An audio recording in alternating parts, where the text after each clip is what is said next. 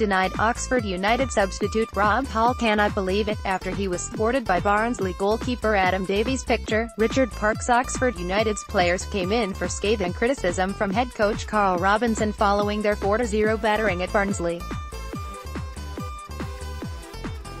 The visitors were second best all over the pitch and a strong Tyke side romped to a comfortable victory, thanks to Mamadou Thiam's first half brace and late strikes from Brad Potts and Victor Adeboyejo.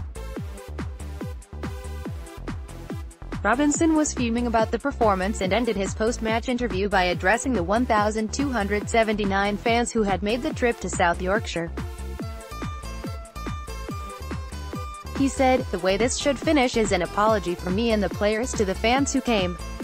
That wasn't acceptable and we're not fit to wear the shirt today in some ways, we didn't wear that badge with the honor it deserves.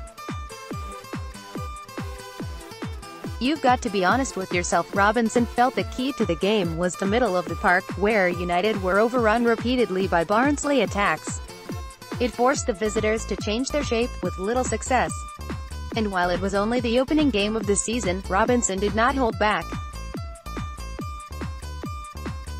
He said, we got dominated in the middle of the pitch. It's poor when the midfield players can't play with two or three in there and we have to put four in to combat them. That means you're not as good as the player you're coming up against. These are facts, whether the players like it or not I don't really care, because it's the truth. You can't hide away from the negative aspect of the game. There's only one type of people who can maybe make a difference and they're the ones who can be a really honest with themselves, shake themselves off and come back better players.